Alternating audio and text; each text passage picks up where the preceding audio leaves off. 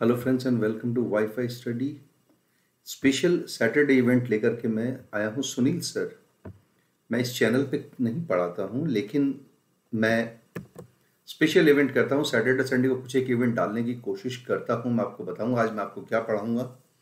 Right आज मैं आपको पढ़ाऊँगा एसएससी बैंक और डिफेंस से related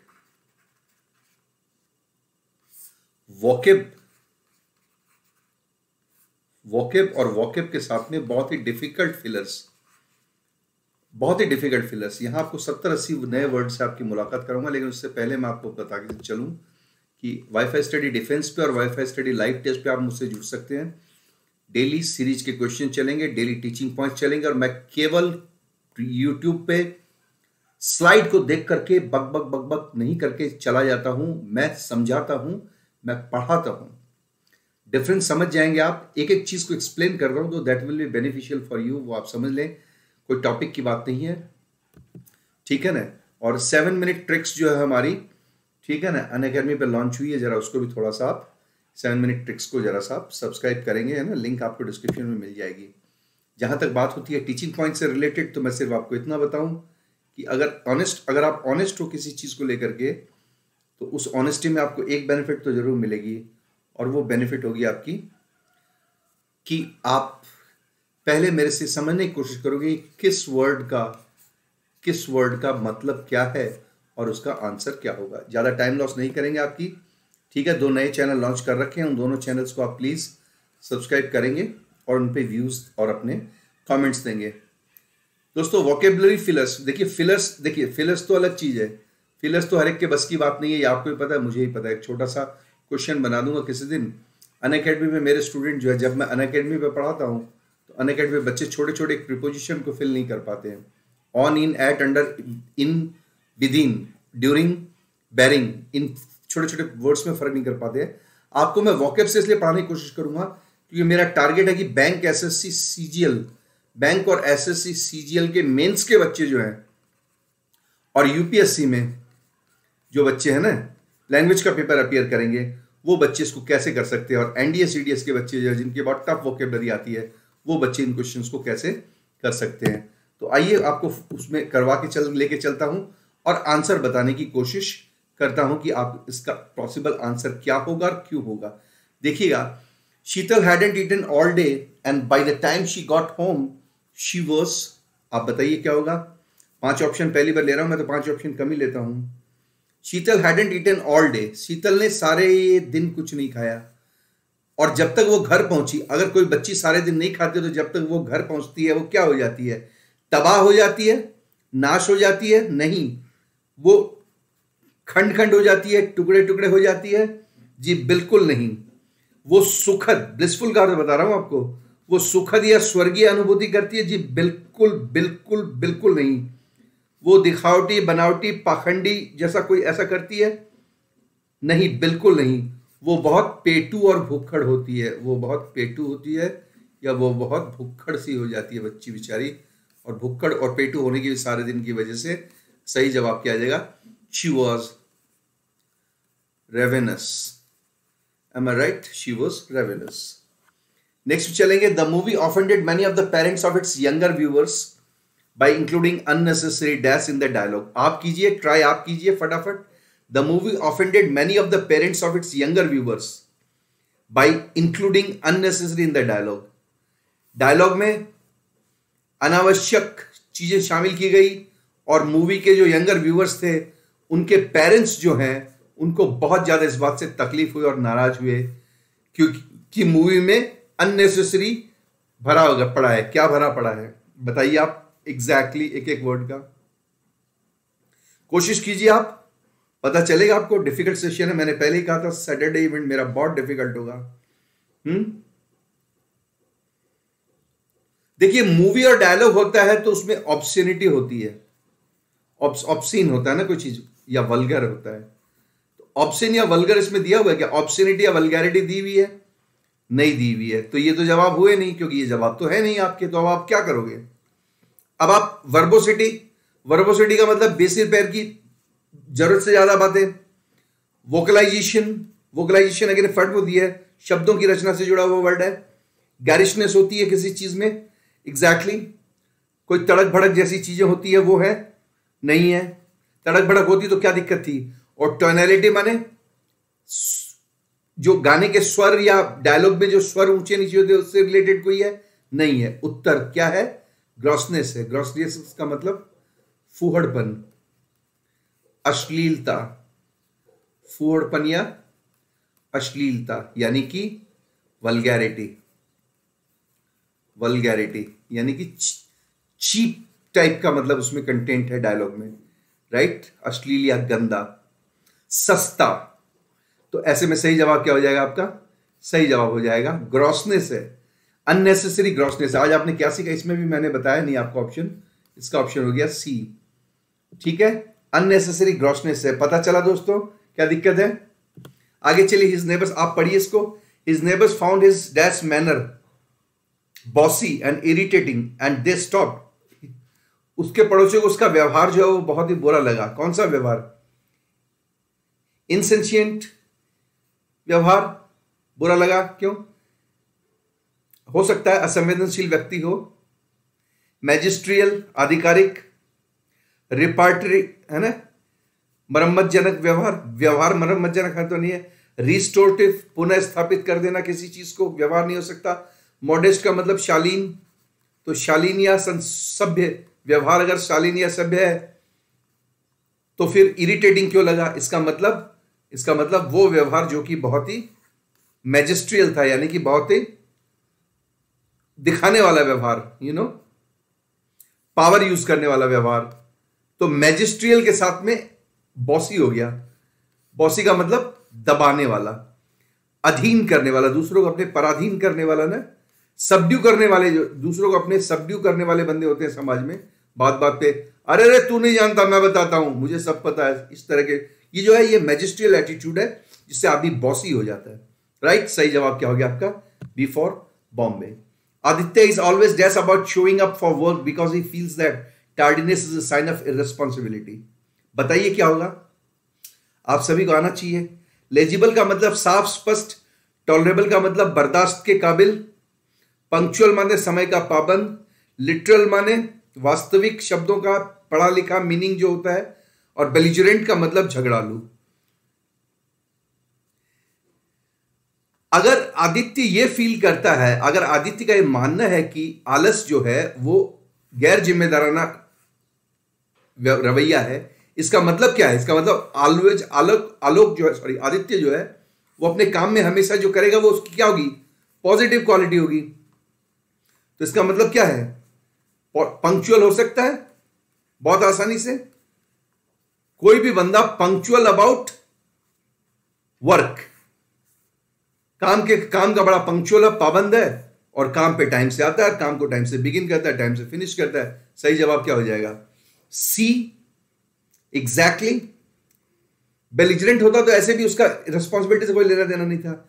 Charulata would dash her little sister into an argument by teaching teasing her and calling her names बताइए क्या होगा? क्या होगा बताइए? Charulata would her little sister into an argument by teasing her and calling her names छोटी बहन को, है ना, छेड़ती है और उसको सताती है तो प्रोवोक करती है, वो उसको क्या करती है? प्रोवोक करती है है ना इंसाइट करती है इंस्टिगेट करती है वो उसको फ्लेयर करती है। राइट ये सारे वर्ड है प्रोवोक करने के। यानी कि अपने भाई, अपने बहन को उसके घर गए, घरेलू तरह तरह के नाम से क्या करती है, उसको प्रोवोक करती है। एडवोकेट का मतलब होता है वकालत करना। परफोरेट का मतलब है किसी चीज़ में सुराख लगाना। एम राइट और लेमिट का मतलब है किसी किसी की, को याद करते हुए विलाप करना। यू नो यू नो जैसे अफसोस ज़ाहिर करना, शोक ज़ाहिर करना इसको कहते हैं। और एक्सपंज जो है, उसका अर्थ है किसी को उसके अस्तित्व से मिटा देना या हटा देना। अगर कोई वस्तु है तो उसको इरेज कर देना और अदरवाइज़ किसी चीज़ को टर्मिनेट कर देना। एम आई राइट तो ये तो यहाँ बैठेंगे नहीं बच्ची के लिए तो। बच्ची तो ज़्यादा से ज़्यादा क्या हो सकती है? उत्तेजित हो सकती है। तो बच्ची को उसकी बहन जो है, चारुलता ने अपनी छोटी बहन को हमेशा छोटी सी बहन है, इसलिए उत्तेजित कर दिया तो सही जवाब क्या हो जाएगा? बिफोर बॉम्बे हो जाएगा। The dress Amjad wore dash with small glassy beads creating a shimmering effect अच्छा क्रिएटिंग अ शिमरिंग इफ़ेक्ट इस वर्ड से मुझे देखो क्लू मिलेगा कि यहाँ क्या आएगा। आप बताइए, पहले आपका क्वेश्चन है, मैंने तो आपको करने दिया सैटरडे इवेंट है तो आपके लिए पहली ज़िम्मेदारी है। अमजद ने जो ड्रेस पहन रखी थी, उस पर छोटे छोटे चमकदार जो है ना, चमकदार, है ना, मोती लगे थे, है ना मन के जो होते हैं ना, मोती माला के जैसे, वो लगे थे उससे बहुत ही एक चकाचौंध वाला प्रभाव आ रहा था। शिंटिलेटिंग बताइए क्या होगा? उकसाने वाला, भड़काने वाला तो ड्रेस तो होगी नहीं उकसाने ये ड्रेस है ना तो ड्रेस उकसाने वाली, भड़काने वाली हो नहीं सकती। रिटेरेटेड माने दोहराने वाली। है ना? एंथ्रेल्ड थ्रिलिंग से जुड़ी हुई है, मंत्र मोहित कर देने वाली सुदबुद खो देने वाली। स्ट्राइटेड क्या होती है दोस्तों? स्ट्राइटेड वो होती है जो, जिसमें धारियाँ होती है, ऐसे धारीदार। कुछ लोग स्ट्राइटेड शर्ट पहनते हैं ना स्ट्राइट जिसको आप कहते हो तो ये भी नहीं होगी। उत्तर, ये हो गया आपका क्वेश्चन है ना? बहुत भड़कीली, चमकदार पोशाक पहन रखी थी, चमकदार सिंटिलेटिंग क्यों? क्योंकि शिमरिंग अगर कोई चीज़ कर रही है तो ऑब्वियसली वो क्या है? वो ऑब्वियस ऑब्वियसली वो सिंटिलेटेड है है ना? सिंटिलेटेड है, अगर वो ऑब्वियसली शिमरिंग इफ़ेक्ट दे रही है। तो क्योंकि दोनों में रोशनी और चमक होगी। Being able to afford this luxury car will dash getting will dash getting a better paying job अच्छी तनख्वाह की नौकरी मिल सकती है। इस कार को अगर हम अफोर्ड कर सकते हैं, इस कार को अफोर्ड करने के बाद हमें अच्छी नौकरी मिलने की हो जाएगी उम्मीद। तो मैक्सिमाइज के साथ तो गेटिंग आएगा नहीं।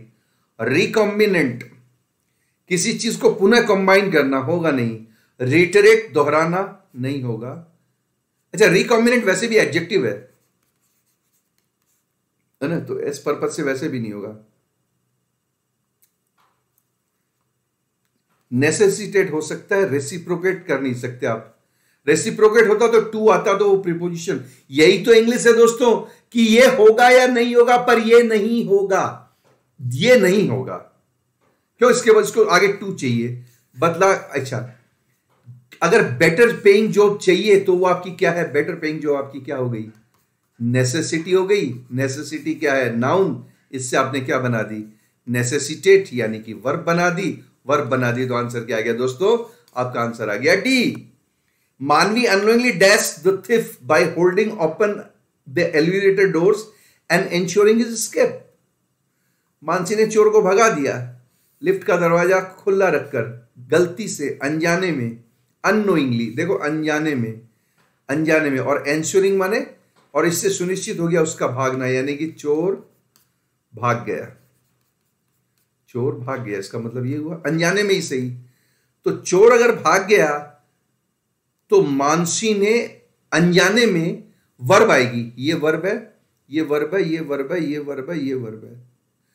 चोर को आप सैंक्शन कर नहीं सकते, स्वागत कर नहीं सकते, घोषणा कर नहीं सकते।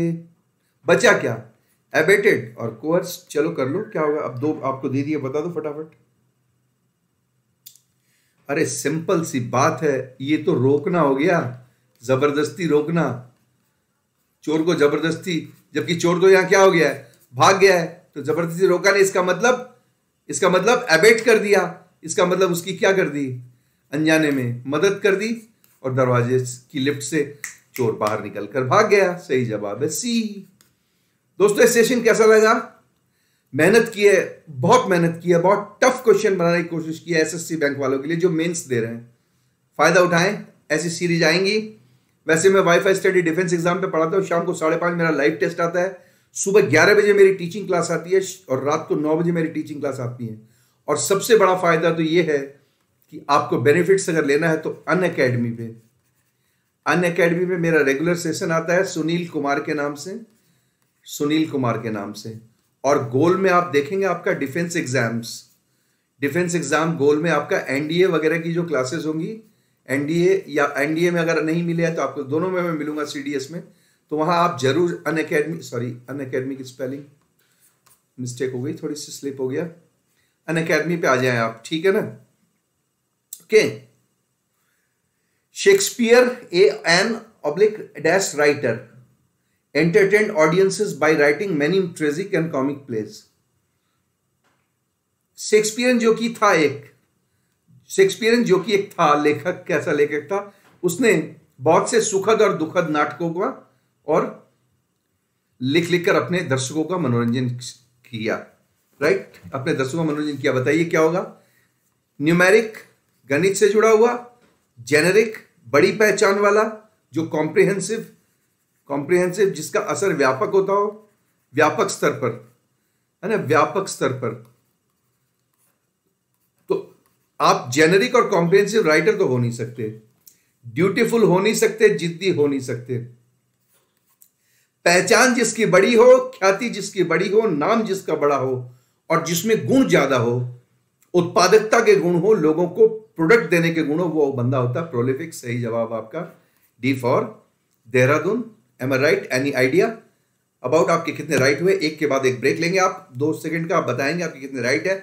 I had dash the experience of sitting next to an over talkative passenger on my flight home from Bhopal मैं भोपाल से लौट रही थी अपने घर और फ़्लाइट में मुझे एक बहुत ही ज़्यादा बातूनी पैसेंजर मिला। जो मेरे बगल में बैठा था और मेरा अनुभव क्या रहा? कैसा अनुभव रहा उसके साथ? ओवर टॉकेटिव सेटिस्फैक्ट्री नहीं होता, प्रशंसा के योग्य नहीं होता। एक्सेप्टेबल हो सकता है तो फिर मैंने आलोचना क्यों की? एक्यूट का मतलब तेज या तीव्र या तीखा तो बंदा तीखा हो एक्यूट एक्सपीरियंस नहीं होता। एक्यूट पेन होता है एक्यूट माइग्रेन होता है अक्यूट एक होता है अक्यूट कैंसर होता है अक्यूट कफ हो सकता है क्रॉनिक हो सकता है। एक वर्ड है गैलिंग गैलिंग एक्सपीरियंस दोस्तों, ये बंदा कौन होता है बंदा? ये बंदा होता है पकाऊ। आज मेरा एक्सपीरियंस बहुत ही पकाऊ रहा, बहुत ही उबाऊ। चल रहे हवा अंधेरे पका रहे यार। पका रहा है यार, खूब पका रहा है। ये ऐसे ही बात बात में पलट करके वो पैसेंजर हो सकता है टॉकेटिव पैसेंजर पकाऊ तो मतलब उससे पूछता आप कहाँ से अच्छा अच्छा वहाँ से अच्छा अच्छा। मैं भी वहाँ से हूँ। मतलब bug bug bug bug bug bug bug bug तो ये इस टाइप का बंदा होगा जो पका रहा होगा ना? है? ठीक है ना? वो टॉकेटिव पर्सन है तो नेचुरल सी बात है। सही जवाब क्या हो जाएगा इसका, दोस्तों? सी फॉर चेन्नई दोस्तों, आगे चलेंगे। ये बहुत ही अच्छा क्वेश्चन है। पहले तो ये बताइए, दस में आपके कितने राइट हुए? और ईमानदारी से बैंक के एसएससी के कोई भी स्टूडेंट जो सीजीएल के स्टूडेंट है आईबीपीएस के स्टूडेंट है एसबीआई के जितने भी स्टूडेंट है, खास करके मैं एसबीआई क्लर्क की बात नहीं कर रहा हूँ, मैं बात कर रहा हूँ एसबीआई पीओ की आईबीपीएस पीओ की। राइट वो जितने भी हैं और गेट के जितने भी स्टूडेंट हैं, ठीक है, वो बताएँ। कैसा लेवल रहा? सेटिस्फेक्शन मिला आपको? Did I have a commendable job of course yes do you feel galling no you don't feel galling पकाऊ या उबाऊ तो नहीं फील कर रहे हो? No why because my job is very commendable यानी कि मेरा बहुत ही जॉब जो है, मैं ये वॉकेबलरी सिखा रहा हूँ, मैं मेरी बात नहीं कर रहा हूँ। प्रशंसनीय हिंदी में कैसे लिखते हैं? I am finding it difficult you know प्रशंसनीय ठीक है ना? तो ये इसकी हिंदी बता रहा हूँ। अक्यूट माने तीव्र मैंने आपको बताया। Prince Philip had to choose Prince Philip को चूज़ करना था। और ये जब कॉलन आया था, इसका मतलब आगे चॉइस है। Mary the women he loved अपने पसंद की औरत से शादी करे और अपने राइट टू द थ्रोन गद्दी का, राजगद्दी का अधिकार। अपने पसंद की औरत से शादी करे तो अपने राजगद्दी का अधिकार पसंद से तो खो देगा, पसंद की औरत से शादी करेगा तो। और या, और मैरी शादी कर ले किससे? लेडी फेना से। एंड इनहेरिट द क्राउन और ताज संभाल ले। ताज संभाल ले। तो अपने लेडी फेना से शादी करके तो ताज संभाल ले। और यह अपने पसंद की औरत से शादी करे तो गद्दी गद्दी, राजगद्दी राजगद्दी खो दे। राजगद्दी खोना। कोई वर्ब ऐसी जो राज रजवाड़ा राजतंत्र से जुड़ी है, रेप्रीमाइंड, अपग्रेड विनो किसानी से जुड़ी हुई है एक्सटोल प्रशंसा से जुड़ी हुई है, एब्डिकेट। एब्डिकेट का मतलब त्याग। किसका? सिंहासन। इसका एक और अर्थ खाली करना। राइट? तो ऐसे में सही जवाब क्या हो जाएगा? दोस्तों सी फॉर चंडीगढ़। रेप्रीमेंट का मतलब क्या होता है दोस्तों?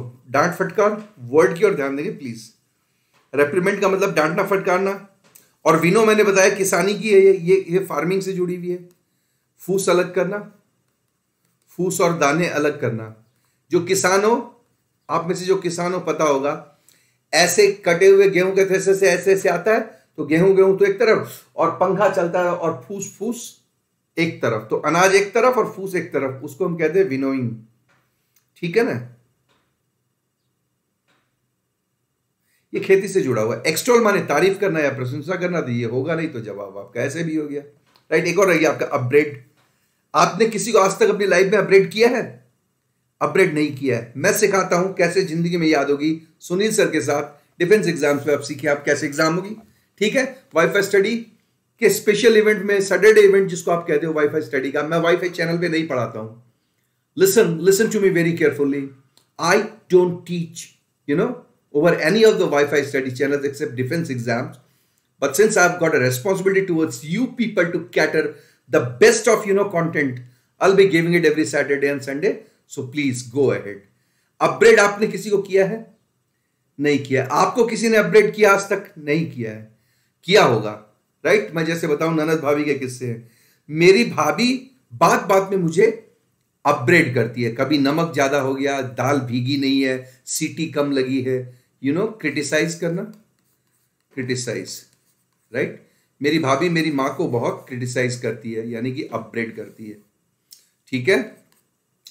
Okay if you don't do your work of your own dash I have no choice but to penalise you if it is not done on time अगर तुमने अपना काम अपने से नहीं किया तो मेरे पास तुम्हें दंड कर देने के अलावा और कोई दूसरा चारा नहीं बचेगा। कैसा काम?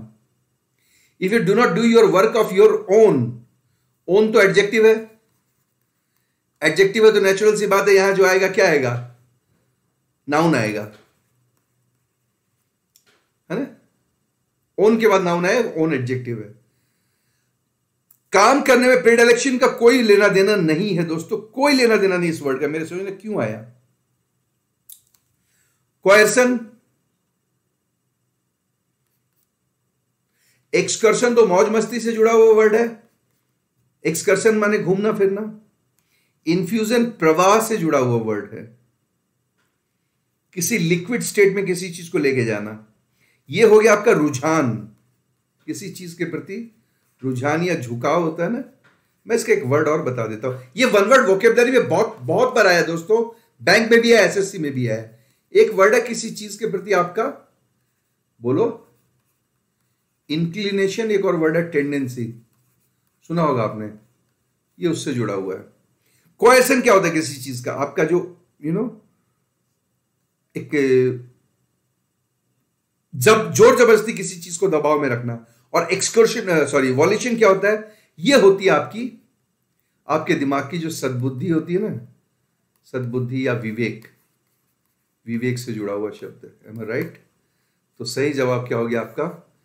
ऑफ़ योर ओन आपका जमीर क्या कहता है? आपकी सद्बुद्धि क्या कहती है? उसके हिसाब से आप काम करोगे तो आपका यह जवाब हो जाएगा, आपकी वॉल्यूशन क्या कहती है? एम राइट चलिए after sitting in the sink for several days the dirty food encrusted dishes became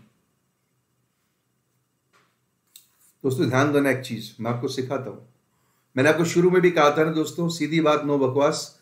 मैं सिखाऊँगा आपको। डर्टी का मतलब गंदा। और सेवरल डेज़ कई दिनों। तो दोस्तों, कई दिनों तक और गंदा होता है, इसका मतलब वो भोजन जो है वो बदबूदार हो गया है। मैं और किसी में नहीं जाऊँगा। सॉरी कोरोना हो गया, लगता है। मैं ए में जाऊँगा। मेलोडोरस मेलोडोरस का मतलब दुर्गंध युक्त बन गया खाना क्योंकि सिंक में कई दिनों तक पड़ा था और उस पर भोजन पे क्या हुआ, है ना? जमी हुई सूखी पपड़ी जम गई और वो गंदा कई दिनों का बदबू मारने लग गया। तो ये हो गया मेलोडोरस और किसी की ज़रूरत नहीं है प्रिविलेंट माने प्रचलित इम्पोजिंग का मतलब आने वाला या दिखने वाला, है ना? परफोरेटेड का मतलब छेद निकाला हुआ या सुराख किया हुआ एम्फेटिक का मतलब ज़ोर दिया हुआ, प्रबल। Avantika soon discovered the source of the dash in the smell smell का मतलब है गंध। फिर वही बात आ गई in the room a week old tuna sandwich एक देखो देखो ट्यूना एक मछली होती है दोस्तों, और इसका सैंडविच बनता बाहर। एक सप्ताह पुरानी ट्यूना मछली का sandwich that one of the children had hidden बच्चों ने अलमारी में किसी एक बच्चे ने छुपा दिया था। बच्चों में से एक ने किसी ने अलमारी में एक हफ़्ते पुरानी ट्यूना सैंडविच छुपा दी थी। तो कमरा नेचुरल सी बात है, क्या हुआ? अब यहाँ सुगंध तो आने से रही तो बदबूदार दुर्गंध आ रही है। स्मेल वही पिछला वर्ड आ गया मेलोड्रस मेलोड्रस में दुर्गंध युक्त क्वेंट फेस्टिडियस, क्लेंडेस्टाइन, ये इंसान होता है, ये इंसान होता है, ये इंसान होता है। ये वस्तु होती है। लगा सकते हैं क्या? फैटिड फैटिड का मतलब होता है बदबूदार। बदबूदार। लगा सकते हैं क्या? बदबूदार गंध। लगा सकते हैं। बिल्कुल लगा सकते हैं। सही जवाब आ जाएगा दोस्तों आपका ई तो ये नहीं होगा दोस्तों। ये नहीं होगा दोस्तों। बिल्कुल नहीं होगा। अब इनका अर्थ क्या होता है? फेस्टिडियस का मतलब क्या होता है? जो बहुत जिद्दी होता है। जिद्दी सन की है ना, जिसे आसानी से हम फुसला नहीं सकते। राइट और गुप्त और रहस्य, भेद में छुपी हुई कोई चीज़ क्या होती है? क्लैंडस्टीन गुप्त या रहस्य, जिसका अभी भी पर्दा उठना बाकी है। कई दिनों तक किसी की मौत जो होती है, वो भी क्लैंडस्टीन होती है, दोस्तों, ये याद रखना। और जो बहुत ज़्यादा चालाक खोपड़ा होता है ना, चालाक, उसको क्वेंट कहते हैं इंग्लिश में। राइट तो इस हिसाब से आपका आंसर क्या बनेगा? फेटिड मने बदबूदार। तो लेकोनिक लेकोनिक का मतलब क्या होता है? लेकोनिक आपने सुना होगा लेकोनिक का मतलब मैं बताता हूँ, अल्पभाषी अल्पभाषी। रिज़र्व सुना आपने रिज़र्व मैं अगर ऐसे याद दिया तो मैं आपको बता देता हूँ। मेरे जीजू बहुत ही टॉकेटिव है। मेरे जीजू बहुत ही टॉकेटिव है, लेकिन मेरी दीदी बहुत लेकोनिक है। तो टॉकेटिव और लेकोनिक दोनों एक साथ दीदी जीजू के साथ लगा दोगे तो दोनों में अपोजिट हो जाएगा। क्योंकि लेकिन किंतु बोलोगे तो अगला वर्ड अपने आप क्या हो जाएगा? बट बट बोलते ही अगला वर्ड अपोजिट हो जाएगा। अपोजिट हो तो कैसे?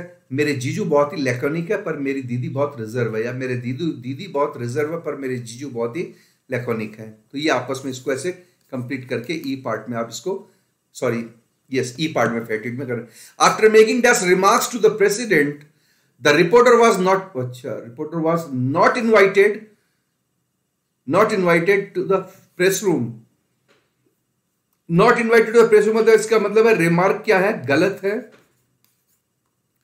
गंदे हैं। असभ्य हैं। अश्लील है। मुझे नहीं पता गंदे, असभ्य, अश्लील, है ना? कुछ भी हैं। असंवैधानिक है। हॉस्पिटेबल आतिथ्य, सत्कार आइटिनरेंट घूमने वाला एंटरप्राइजिंग उद्योग लगाने वाला, मेहनती, परिश्रमी साहसी शवलरस वीरता का जुड़ा हुआ शब्द है और इरेवरेंट अनादर युक्त अनादर अनादर युक्त समझ में आ रहा है ना? असभ्य असम जिसको कहते हैं रेवरेंट माने अनादर सूचक अनादर सूचक, शब्दों का प्रयोग। राइट तो आजकल आपके फेसबुक पे व्हाट्सएप पे आप लोग भी यही कह रहे हैं इंस्टाग्राम पे। कोई किसी को फेंकू बोल रहा है, कोई किसी को पप्पू बोल रहा है। वही सब इसमें भी आ गया। इरेवरेंट रिमार्क देखिए, नेताओं के खिलाफ या पब्लिक या लीडर के खिलाफ तो इरेवरेंट रिमार्क तक सही है। किसी के धर्म, मज़हब और भगवान या गॉड के बारे में भी लोगों ने आजकल क्या किया है? इरेवरेंट रिमार्क देना शुरू कर दिया। हम सॉरी ऐसा न करें। सही जवाब है ई फॉर एलिफेंट आगे चलें।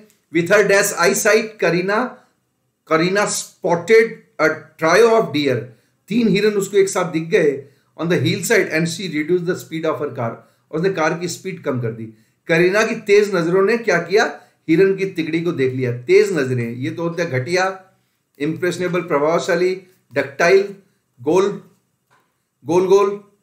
किसी रिम में घुमा करके समेट देना। ठीक है? ये साजिश से जुड़ा हुआ है। बचा क्या? पारखी नज़रें तेज नरकें। कीन का मतलब होता है शार्प। और आँखें क्या हो सकती है? शार्प यानी कि आई साइड यानी कि दृष्टि तेज हो सकती है। सही जवाब है बी फॉर बॉम्बे आइए सर, आगे चले डक्टाइल आप जानते हो ना? जिसको फोल्ड किया जा सकता हो, है ना? मेटल के रूप में यूज़ होता है केमिस्ट्री में। हाइड्रोमेटलर्जी में डक्टाइल वर्ड बहुत यूज़ होता है। With a and S green the boy quickly slip the candy into his pocket without his mother's knowledge बिना माँ की जानकारी में लिए बिना, बच्चे ने अपनी जेब में कैंडी सरका दी विद ग्रीन. ग्रीन का मतलब है हँसी. कैसी हँसी? साजिश वाली पीली हँसी? है? या भेदभाव वाली हँसी? ढर्रे जैसी हँसी? संवेदनापूर्ण हँसी? और निष्पक्ष हँसी? और ये धुरता भरी है। ये सही है, बिल्कुल. क्राफ्टी कनिंग क्राफ्टी या कनिंग स्माइल कनिंग स्माइल होता है ना? है ना? ये कनिंग स्माइल, ये भी ग्रीन माने भी हंसना, मुँह दबाकर चकल करते हैं ना ऐसे। कुटिल मुस्कान, हिंदी में एक शब्द है दोस्तों, कुटिल मुस्कान। ये उसी का वर्ड है ग्रीन। तो ये, वैसे तो ये सुपरफ्लस होना चाहिए, लेकिन वैसे दे रखा तो अपन इसमें कुछ करेंगे नहीं, क्योंकि ग्रीन में तो क्राफ्ट पहले से जुड़ा हुआ आदमी की। तो सही जवाब है before Bombay 18th her dad's display of tears at work did not impress her new boss who felt she should try to control. उसके नए बॉस पर उसके आंसुओं के प्रदर्शन का कोई प्रभाव नहीं पड़ा। कैसे आँसू? मेरिटोरियस देखिए, पहले क्या नहीं होगा? दोस्तों लाइफ में कुछ बनना है तो क्या नहीं होगा? पहले वो बोलिए। मेरिटोरियस होते हैं क्या आँसू? और प्रिकैरियस असुरक्षित, असंयमित? नहीं। प्लॉसिबल हो सकते हैं क्या? आँसू किसी के एक्सेप्टेबल होते हैं? नहीं। स्केमेटिक थोथा? कमज़ोर? आधा अधूरा नहीं मॉडलिंग हो सकता है। किस तरह के? इमोशनल भावनापूर्ण बहे Arjun her emotional display of tears emotional हो सकता है तो मॉडलिंग भी हो सकता है। क्यों? क्योंकि एक दूसरे के क्या है दोस्तों? सिनोनिम है। राइट जब आप दिल में संवेदनाएँ घुसा करके रोते हो, नकली हँसी तो ये उससे रिलेटेड है। Nishtha argued if you know about a crime but don't report it you are dash in that crime because you allowed it to happen Nishtha ने आर्ग्यूमेंट कहते हुए कहा कि अगर तुम्हें किसी अपराध के बारे में पता है और तुमने उसकी सूचना नहीं दी तो तुम भी एक अपराध में हो, क्योंकि तुमने इसे घटने दिया। तुम भी क्या हो अपराध में? बताइए सर।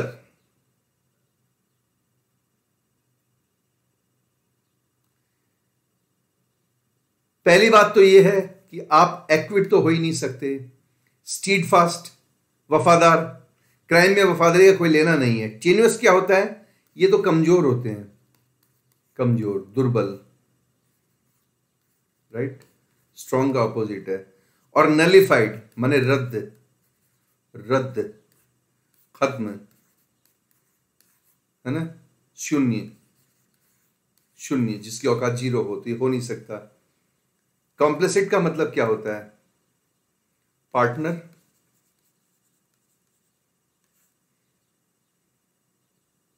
या सहयोगी? अदालत आपको भी सहयोगी या पार्टनर मान ले। कॉम्प्लिसिट का मतलब होता है अकम्प्लिस जो होते हैं ना, आपने अकम्प्लिस सुना होगा। जुर्म में बराबर का साझेदार। तो सही जवाब आपका डी फॉर देहरादून। दोस्तों एक्विटेड स्ट्रीट फास्ट इसलिए नहीं होगा। आज सबके मीनिंग अलग है दोस्तों, और मीनिंग अलग अलग है। इसका मतलब ये क्या है? स्ट्रीट फास्ट का मतलब है कोई चीज़ किसी के प्रति क्या होते हैं? वफादार होते हैं ना आप, जब मान लो। या कोई जो नहीं वफादार हो, आप हो सकता है कि आप स्थिर भी हो। हर परिस्थिति में। लेकिन यहाँ तो आप क्या हैं? यहाँ तो आप कॉम्प्लेसेट हैं दोस्तों। कॉम्प्लेसेट माने गुनाह में आपकी बराबर की हिस्सेदारी मानी जाएगी क्योंकि आपने गुनाह को होने दिया।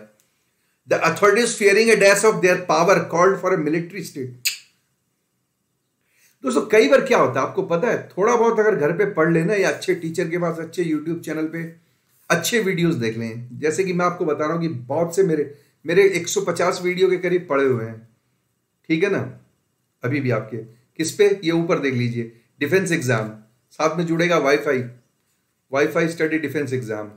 आप यकीन मानिए, इतनी क्वालिटी के वीडियोस है, इतना क्वालिटी का एक्सप्लेनेशन है कि आपको कहीं जाने की ज़रूरत ना पड़े। ऐसा मैं किस लिए बोला? क्योंकि मिलिट्री आ गई और पावर आ गया। तो फिर इन्फ्यूजन और प्रेडिलेक्शन है ना? प्रीडेलेक्शन और ये दो गलत हो गए इन्फ्यूजन नहीं हो सकता। नहीं हो सकता, किसी भी कीमत पे नहीं आ आप बोलोगे, सर, क्यों नहीं हो सकता? रीजन क्या है? सिंपल सी बात है। इन्फ्यूजन का मतलब है किसी लिक्विड स्टेट में किसी चीज़ का प्रवाह। इन्वर्जन का मतलब हो सकता है उल्टा। उल्टा। हो सकता है मिलिट्री पावर से किसी सरकार को उल्टा कर दे या उलट दे। यह हो सकता है। एक बार के लिए मान लें। लेकिन एक चक्कर क्या है? इन्वर्जन में स्पेलिंग किससे है? आई से है। और ये किससे है? ए से है। तो यहाँ एन आना चाहिए जो कि नहीं आया है। ठीक है? प्रीमोनिशन क्या होता है दोस्तों? प्रीमोनिशन सुना हुआ आपने तो। मैं बताता हूँ। आपको किसी चीज़ को सपने में कोई चीज़ दिख जाए कि कल भूकंप आएगा और अगले दिन वाकई भूकंप आ जाता है, ज़मीन हिलती है, इसका मतलब आपको क्या है उस चीज़ का? प्रिमोनिशन है। किसी भी खतरे की या दुर्घटना की दस्तक पहले से जो सुनते हैं देखते हैं, जागे सोए हुए, उसको प्रिमोनिशन कहते हैं। तो अथॉरिटीज फियरिंग अ है। तो इसका मतलब क्या है? तख्ता पलट सबवर्शन तख्ता पलट. तख्ता पलट जानते हो ना आप? तख्ता पलट किसको कहते हैं? बगावत. सबवर्शन विद्रोह हो जाएगा, इसलिए उन्होंने सेना बुला ली। सही जवाब क्या हो गया दोस्तों? ए फॉर ठीक है? आई होप आपको पसंद आएगा सेशन सुनील सर के साथ। अगर अच्छा लगा तो ठीक है thank you so nice of you मैं तो आता मुझे तो वैसे एक रेस्ट मिलता है सैटरडे को। कोई दिक्कत नहीं है, मैं अपने आराम से घर पे रहूँ। बच्ची हाई कोर्ट में वकील है, बेटा अमेरिकन कॉल सेंटर में है। तीस साल पढ़ा लिए मैंने थर्टी ईयर्स पिछले उन्नीस साल से मैंने कोई किताब नहीं खोली है। उन्नीस साल हो गए, पचपन हज़ार से ज़्यादा बच्चों का सिलेक्शन करवा चुका हूँ मैं। Right more than fifty five thousand बच्चों का। एवरेज मेरे अठारह सौ अट्ठारह सौ बच्चे प्लस मेरे एवरेज एक हर साल सिलेक्शन करके गवर्नमेंट जॉब में लगते हैं। राइट यकीन मानिए आप ठीक है एसएससी सीजीएल के अंदर कम से कम 500 कस्टम्स में इंस्पेक्टर सेंट्रल एक्साइज में और कस्टम्स में और इनकम टैक्स में एनआईए में जर्मनी है फिनलैंड है हंगरी है ब्रूसल्स है बेल्जियम में। ये गए हैं एम e के through ministry of external affairs Bharat का विदेश, ये जो विदेश मंत्रालय उसके थ्रू है ना है ना एमओएच में मोहा जिसको कहते हैं मिनिस्ट्री ऑफ़ होम अफेयर्स में, पता नहीं कितने। ठीक है ना? सी पी एस आई में कितने सब इंस्पेक्टर दिल्ली पुलिस में कितने एस एच ओ बहुत बहुत मेरे लाइफ का अच्छा एक्सपीरियंस रहा है। तीस साल हो गए मुझे पढ़ाते हुए राइट फिफ्टी टू ईयर्स की मेरी एज है। थैंक यू वेरी मच आते रहिए, जुड़ते रहिए। याद रखें दोस्तों, किसी भी टीचर से पढ़ें, किसी भी चैनल से पढ़ें, अगर केवल स्लाइड चल रही है ना, अगर केवल स्लाइड चल रही है, इसका मतलब वो आपके साथ दगा कर रहा है, वो आपके साथ धोखा कर रहा है। और सुनो और सुनो एक और चीज़ दिखाता हूँ आपको। जैसे कि केवल स्लाइड नहीं चल रही है मान लो। मान लो ऐसा हुआ कि वो स्लाइड के अलावा भी मान लो जैसे अपन चलते हैं लास्ट में कि स्लाइड नहीं चल रही है। देखना आपको ज्ञान की बात बताता हूँ। और ये मान लो जैसे कि हम्म,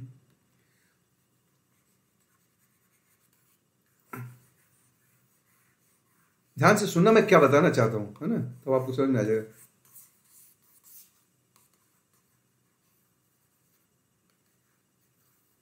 है ना?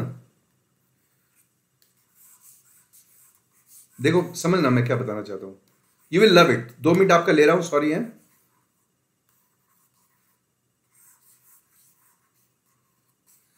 मान लो कि आपके टीचर ने एक स्लाइड खोली, ठीक है? ठीक है ना? उन्होंने आपसे एक स्लाइड खोली और स्लाइड करके उसने बंदे ने क्या बोला? कुछ अंडरलाइन नहीं किया, कुछ भी नहीं किया।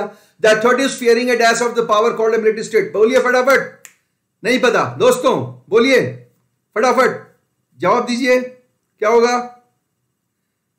बोलिए। वो ऐसे जैसे आपसे बोले जा रहे हैं ठीक है ना? एग्जैक्टली exactly, और हो सकता है कि वो आपको पूरा का पूरा आंसर भी नहीं ला रहे हो। फिर सीधा बोले सबवर्शन का मतलब बगावत। बगावत। सही जवाब। ए और नेक्स्ट स्लाइड में चले गए। ये भी बहुत बड़ा धोखा है। सर, सब बताइए। फिर यहाँ अंडरलाइन कीजिए, सर। फिर सर, ये बताइए कि सर, ये जीरेंड है। और फिर ये बताइए कि सर, ये ए है। इसलिए यहाँ पर आई एन जो कि वॉवल है वॉवल के लिए पीछे आपको एन चाहिए था एन इन्वर्जन यहाँ पर ये नहीं आएगा। सर, ये बताइए। सर, ये बताइए कि ये जो है एडजेक्टिव है। ये बताइए कि ये जो है नेगेटिव वर्ड है। और ये बताइए कि मिलिट्री में इन्फ्यूजन या इन्वर्जन नहीं हो सकता। ऐसे सर ऑप्शन को डिटेक्ट और डाइसेक्ट करना सिखाइए, सर। ऐसे नहीं होता है। जैसे सुनील सर पढ़ाते हैं सैटरडे संडे संडे भी मेरी क्लास आएगी सैटरडे भी मेरी क्लास आएगी। और इस बार की तो वॉकेप की क्लास है मेरी संडे की। धाशु thank you very much love you all thank you very much for being with me friends will see you again है ना on Sunday till then bye bye